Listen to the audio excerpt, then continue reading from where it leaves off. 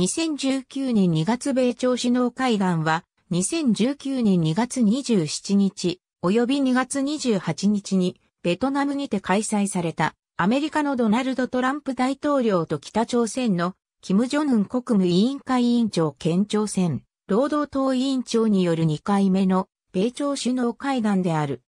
2018年6月12日にドナルド・トランプとキム・ジョンウンの両者は東南アジアの島国であるシンガポールにて、史上初となる2018年米朝首脳会談を開催した。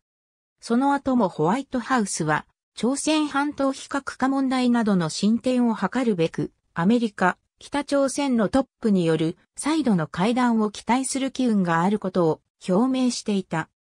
年が明けた2019年となり、トランプ大統領は2月5日に一般教書演説をアメリカ合衆国議会合同会議の場で言った際に、2月27日と28日に、キム・ジョンウンと再び会談することを表明した。2018年6月12日会談の開催地はシンガポールであったが、今次会談の場所については様々な候補地が取り沙汰された。その候補地は次のようなものであった。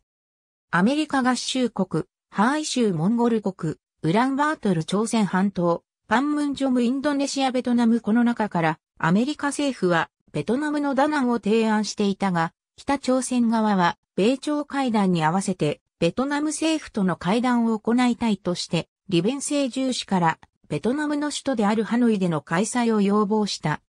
こうしたことを踏まえて、両国で調整を行った結果、2019年2月8日にアメリカ政府からトランプ、金正恩会談をハノイにて開催することが発表された。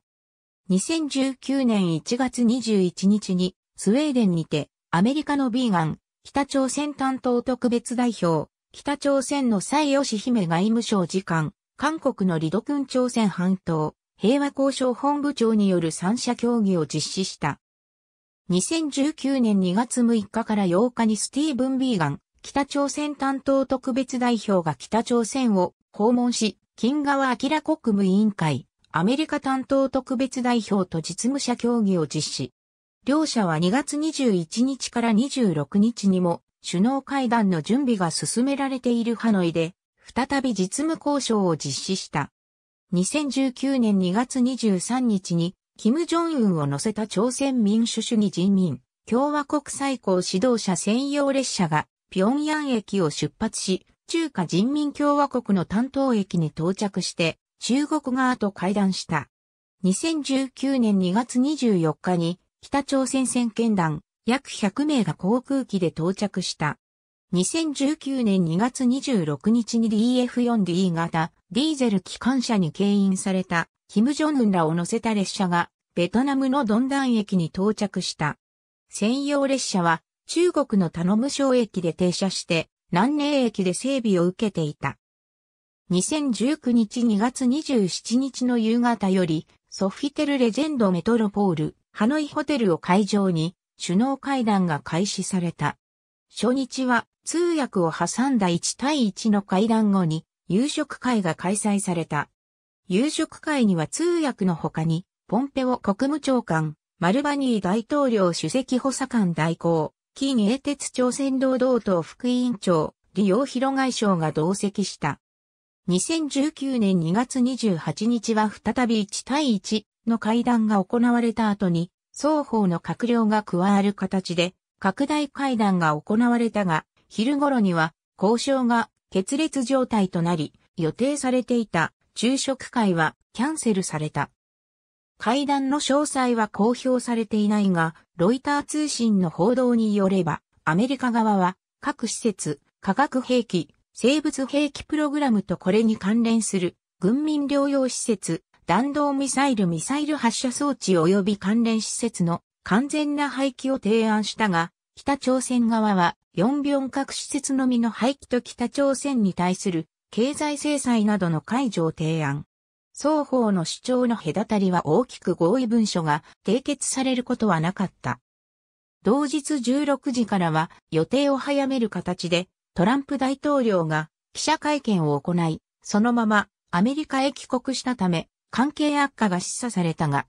後日、会談が終了した時点で、トランプ大統領が、キム・ジョンウン委員長に対し、大統領専用機エアフォースワンで北朝鮮まで送り届けることを提案していたことが明らかにされている。